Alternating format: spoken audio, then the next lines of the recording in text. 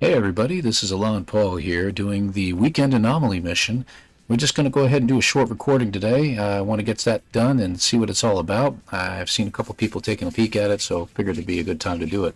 I missed it last weekend. Very sorry about that. Had a couple other things coming up and uh, just never got a chance to even do the Anomaly mission on my own, on my regular save. So we're going to go ahead and do it today. I'm also, uh, I'm rocking the older uh, cape here, and I understand the other one's been unlocked, so I want to go ahead and check that out too while we're at it. So let's go ahead and uh, jump in ship, get out of freighter, and head off to said anomaly. Got to pull that sucker in. Uh, a little too low to the atmosphere, aren't I? Yeah, okay, let's get out a little ways. There we go. Do this one more time. Hey there. Space ball. Let's check out what's going on today. Now, I'm going to do something real quick. I don't always do this, but why not? There we go. Let's turn on the multiplayer and see who's around today.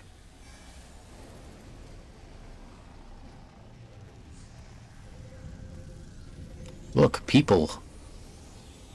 Ew. Yeah, I know, I know.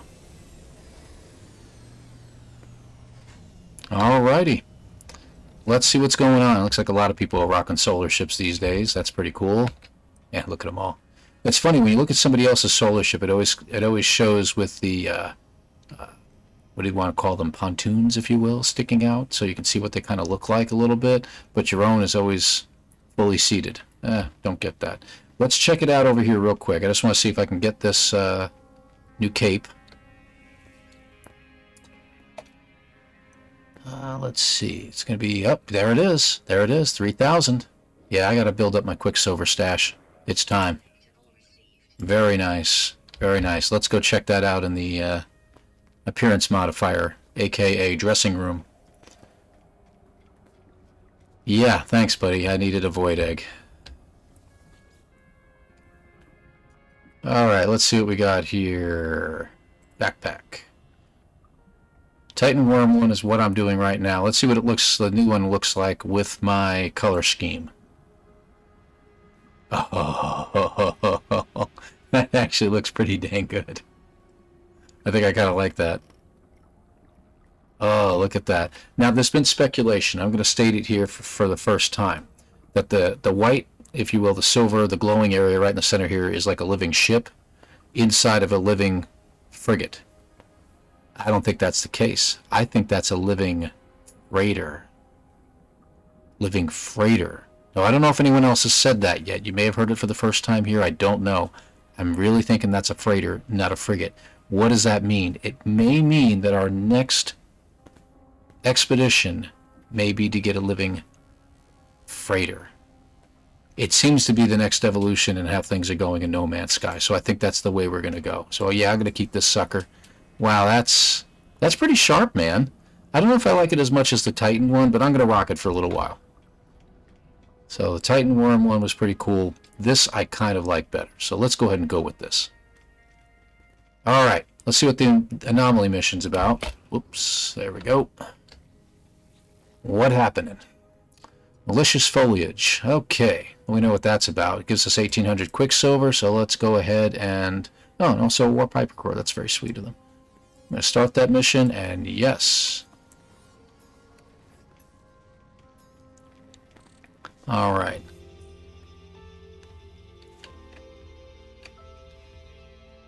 Let's get over here, see where we're going to end up. What planet we'll be on. I've seen some previews. I think I saw Captain Steve, I think it was earlier. He was doing a live stream, and I think he was on this really uh, god-awful planet. Uh, these planets that have the extremely steep mountain ranges that are just they go up to almost space at this point you know where your your solar sails are still uh, fully out there while you're still in the atmosphere and trying to land. It's just really ridiculous. So all right. The Maishi Arturo system Euclid galaxy as you know, I'm in the Eissentam galaxy for the most part. That's where I like to hang out. All right, where are we at? Oh, to the right. always to the opposite direction I start to go in. Here we go. Um, I think I'm going to go ahead and reorient myself. Hollow of the Depths. That's a really interesting name for a character. Very nice.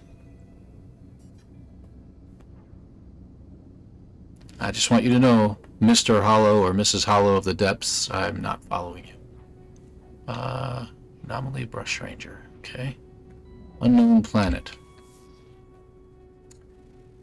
Dawag 81 V6. Well, it's got a pretty good engine in it anyway. Indium. Ah, we're in a blue star system too to boot. Interesting. Okay. Let's see what we get. On our way into the atmosphere. Now, if this gets a little bit boring along the way, I'll go ahead and pause the video and pick you guys up as I destroy floral hazards. Now, as you can see, it's always going to be, you have to find a um, traveler's grave first. Yep, that's the planet I thought it was. So we try to kind of look around with our radar at the top to see if we can find, oh, right here. Son of a biscuit eater. I cannot believe I found the grave right like just like that. Wow. Okay, got lucky on this one. Alright, winds from beyond. Interesting. Frequent, abundant, and rich. Okay. 203 degrees. A little balmy. Snagged around the ankles, piercing thorns. Completely unaware. We reduced the numbers, but... The fallen traveler's log seems to mention the floral infestation, but holds no further clues. I will need to scout to locate the hazardous flora. Okay, so obviously that's what we're doing. We're killing stuff. Now, some people will use weapons to get rid of them. Uh, that's okay. You can do that. If you can find yourself a cave, that's even better. It looks like I have one right there. If you find yourself a cave, you're going to usually find some nice hazardous uh, flora, uh, flora in the cave. Let's see here. Yeah, that's a little stronger, I think. All right. Storm clearing, huh? Let's see if we have a cave around here real quick. Ooh, got beetles here. Look like white ones. Take a look at them later. Kind of nice looking. Alright.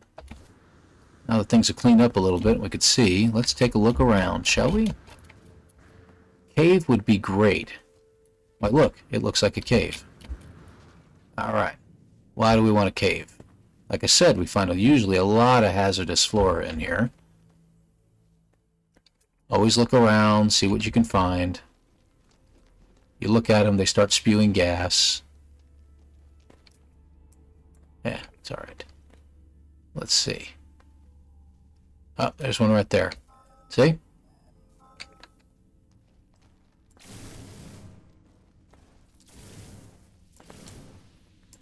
Really?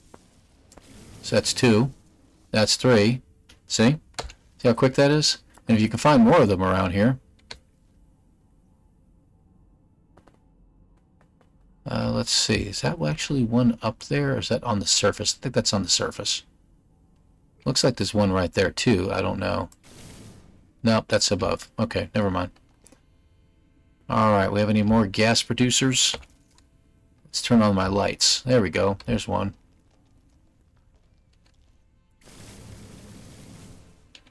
There's another one. We got four. Anybody else? So this might go a little bit quicker. Hey, there's a bunch right there, right on the ground.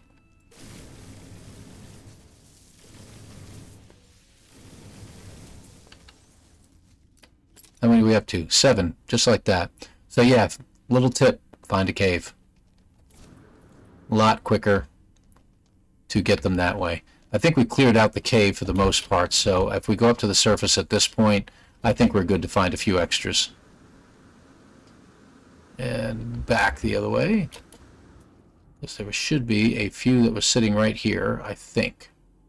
Now, if it says that too weak for distance to estimate, in other words, it, it thinks that they're too far away, you know what it is? It's just that they haven't populated on the landscape yet. Just go a little further away travel like about, you know, 20, 30 clicks as far as your jetpack will take you, and you will find another one. See? Look at that. Right that. See? Not really that far away anymore, is it? There we go. That one's gone. So that's eight. Who else we got? Still thinks it's too far away, huh? Alright, let's head downwards a little bit.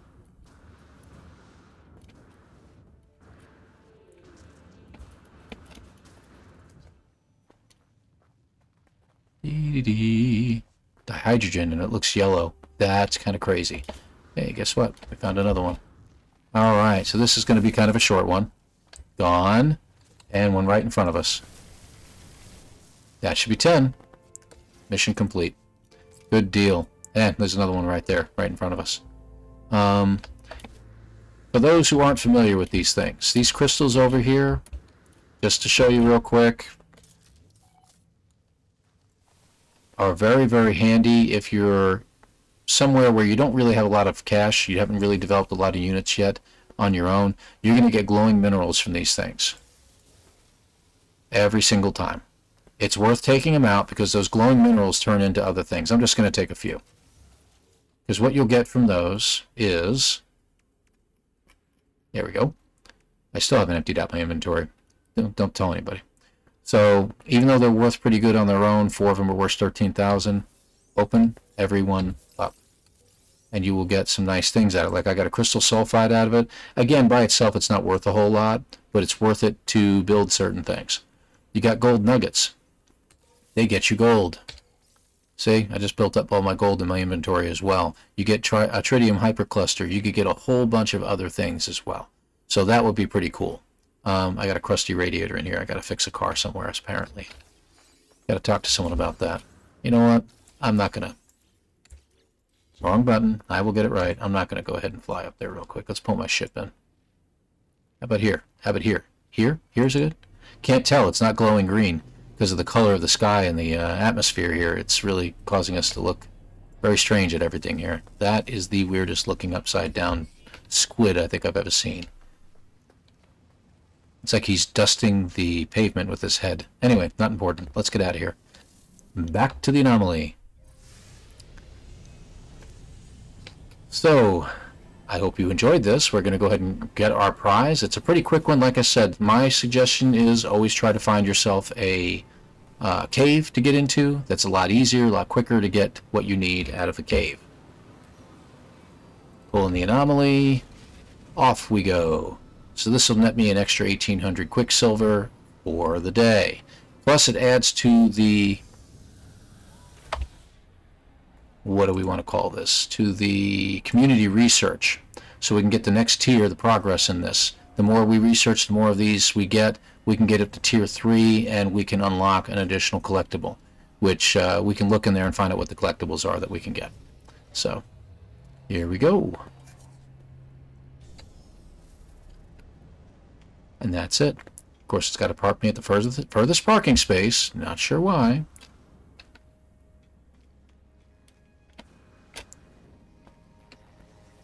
and on a mission complete Ladies and gentlemen, that is the end of the Anomaly mission. I hope you enjoyed this. It's a very, like I said, a pretty short video to today. We just wanted to go over that real fast for you so you knew what you were to expect and pretty much the easiest way to go about taking care of it. So, to all you travelers out there, thank you very much for watching. Feel free to subscribe if you wish, if you like the content, and by all means, throw a like on there add a comment to it. I always like to respond to every one of my comments. It may not be in the most timely fashion, but usually within 24 hours you'll get a response from me. Thank you very much again for watching, and hey, why don't we throw in a gesture and say so long. Take care, everybody.